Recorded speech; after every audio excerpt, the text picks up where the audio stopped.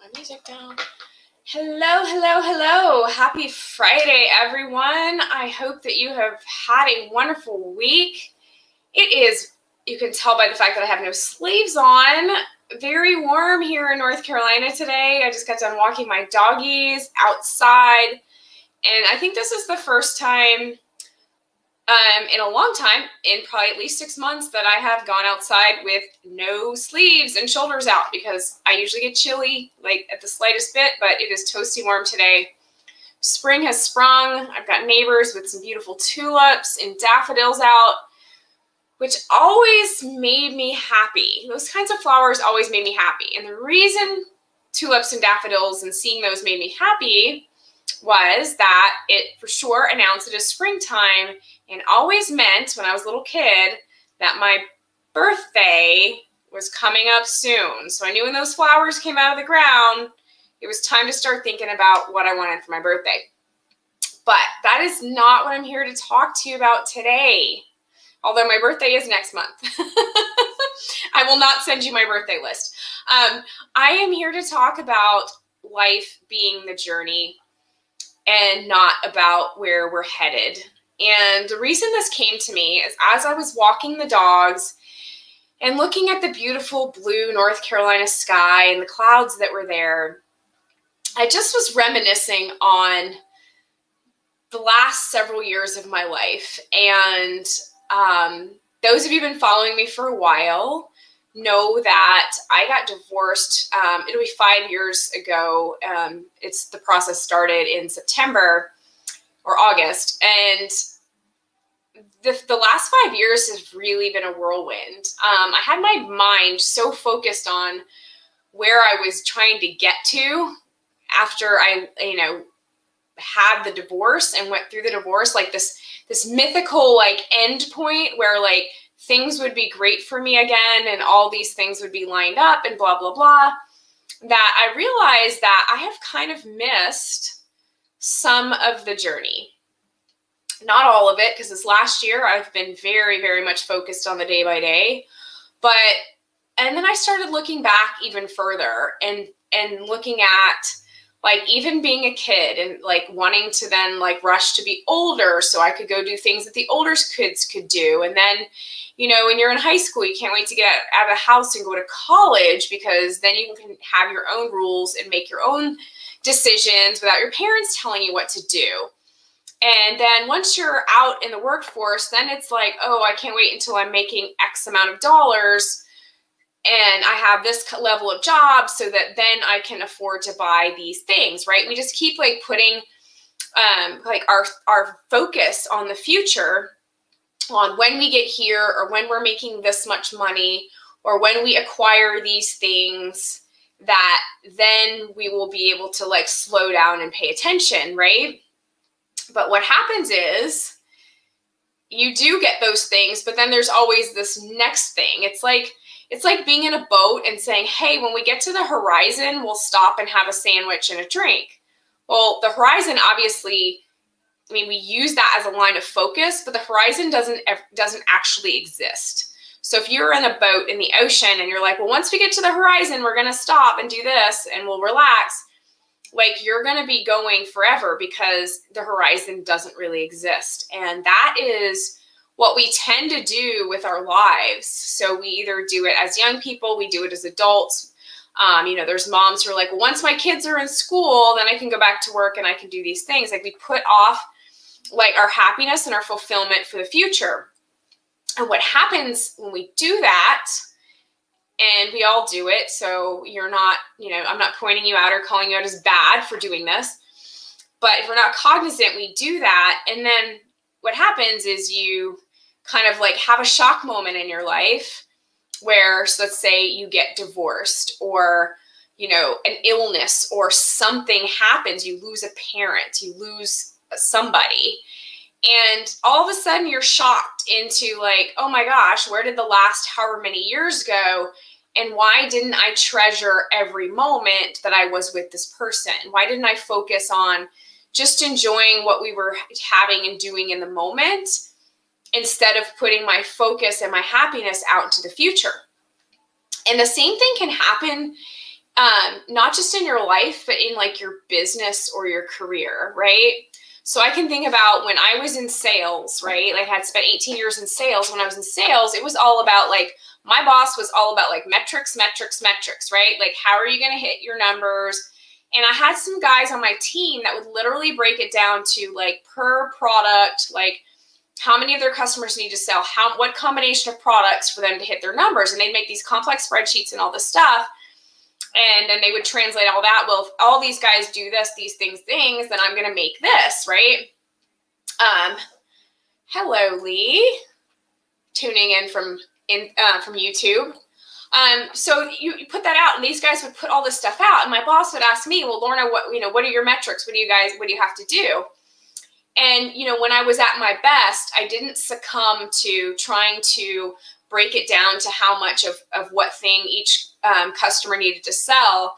I would literally just say, look, I know that I'm going to hit my goals if I visit each of my customers X number of times per month and I spend X number of hours at the store and I do these particular things while I'm in the store and I help them with anything that they have that comes up, I know that I'm going to hit my numbers because when I focus on taking care of my customers and taking care of my clients, like the the numbers and the metrics and hitting the sales numbers that my boss wanted me to hit took care of themselves always. And as whenever I operated in my career, when I was in sales, um, whenever I operated my career to just focus on taking care of my customers and my clients and doing the best that I could do for them, the money and the metrics always took care of themselves. Whenever I got pushed into doing it their way and doing it focusing on the end of getting this particular result, it created stress, anxiety, and usually, if I hit the mark, I barely hit it. Whereas when I did it the other way, it was just like I would just blow the metrics out of the water. And so I, I kind of looked at like, well, same thing there applies with life, right? If we're like, hey, I'm so focused on this, I got to hit this goal, or in your business, oh, I've got to hit, um, you know, two hundred thousand dollars this year, or this quarter, or this month, or whatever it is, right? Like, you're not enjoying yourself, you're not taking care of your customers, you're not taking care of your your life and your spouse and your children. And what happens is things start to fall apart. But if you take care of you and you eat right and you drink enough water and you take care of your customers and you take care of focusing on your clients and how can you serve them and being a good parent and being a good spouse and just focusing on those things that improve your life anyway and enjoying the moment the rest of it takes care of itself it's so crazy. But I, I've looked at, I've on my walk, I was evaluating all these situations in my own life. I was evaluating and thinking back on, you know, family and friends and, and relationships I was in and, and the same thing for other people. And no joke, it's like I didn't find an instance where this doesn't work. And so I was compelled to, to hop on here and make this video to remind everyone that life is about the journey. And no, I'm not saying don't have goals. That is not what I'm saying. So don't anyone say, hey, I have goals for my life. No, I'm not saying don't have goals. I'm saying set the goal and put it there. And then focus on paying attention to the little steps that get you closer. Don't just obsess about the goal way out there think about like hey what can i do today to take one step closer to that? And then how can i enjoy that process that i'm doing that while i'm doing it right? And being there and living that moment and you know engaging with your spouse engaging with your kids and being present for your life. And then before you know it you've hit that goal because you put the attention on the right things to get there. But what happens is if we focus on the goal and we're obsessed about how far away it is and how can we get closer and why isn't it happening sooner and what can I push, push, push and how can I grind, grind, grind in order to get there, it's number one, going to take a lot longer to get there. Number two, you're going to have a horrible time getting there. And number three, you may actually not get there. And if you do, you may have burned everything else down in your life so that now that you have this goal, it doesn't even matter because you don't even have anyone or anything left to enjoy it with because you have burned every bridge around you. You have thrown everything else by the wayside. So you either won't get it at all, or when you get it, you're going to be like lonely and sad. Think about people who like amass like mass um, fame and stuff, right? They're like, I just got to get famous and I got to do this. And they focus on it, they focus on it, focus on it, focus on it. That's like their whole thing. And then they end up like, you know, they don't have a spouse anymore. Their kids won't talk to them. Like all they, they burn the bridges with everyone else in their life and then they're miserable and they end up like being a drug addict and an alcoholic and stuff because that was their only focus and they didn't remember that life was about the journey, not the destination. And when you think about life and quote the destination, depending on your religious or worldview or spiritual view, the destination is for a lot of people the grave, right? So if you're really worried about the destination, really the ultimate destination is the grave. Now, if you're saved and you believe you have new life in Jesus Christ, like I do, my ultimate destination is in God's kingdom. And that I very much look forward to.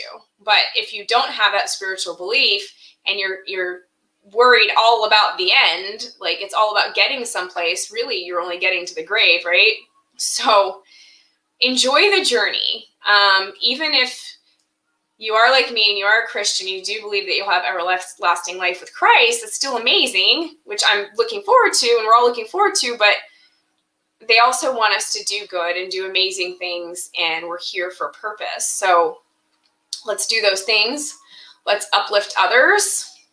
Let's remember it is about the journey. Let's take the pressure off ourselves about hitting the certain place out there in the future or this goal out there at the horizon, take the pressure off yourself and just enjoy life now. Enjoy life now and do do the little things that will get you closer to there while still enjoying the now with yourself, with your loved ones, with your pets, with your spouse, with your kids. Enjoy them now because none of us is promised tomorrow including our children or our pets. So you do not want to be that person who was so focused on this goal that was out in the horizon that you thought, well, I'll enjoy my family and my pets and my children and everything once I get there. And you get there and they're not around anymore. Don't let that happen to you. I don't want that to happen to you. So, that's what I have to share. That's a piece of wisdom I have for this Friday that remember that life is about the journey. Relax and let go of needing to control the outcome. Set your goal, put it out there on the shelf, and just focus on enjoying all the little steps that lead there. And before you know it, you will be there in faster than you could ever imagine and in such a joyful way that you will really be able to enjoy it and you will not have run off everyone else in your life so that they can enjoy your success with you. So that is the little bit of wisdom that I have for you today. Um, if that sounds interesting to you, if you're struggling to like let yourself off the hook, let go of the anxiety of having to control everything, and you need some help with that. You need some help enjoying the journey and setting goals, but not being so obsessed with them that you run off everyone else in your life. I can help you with that. So if you want to learn more about how I can help you with that, or you just like, hey, Lorna, I've been watching your videos for a long time and I want to work with you like now, either of those things or anything else, you can text MOON to 90407 as it scrolls across the bottom of my screen and that will actually get you a link directly to my calendar sent to your cell phone so you can book a free consult with me. Or if texting is not your thing and clicking links from text is not your thing, you can direct message me and book a free consult. Reach out to me that way and I can help you book a free consult. Okie dokie. I wish you a beautiful, amazing weekend. Enjoy springtime. Watch, look at the tulips and the daffodils and get yourself outside and breathe some fresh air. Okay? Lots of love.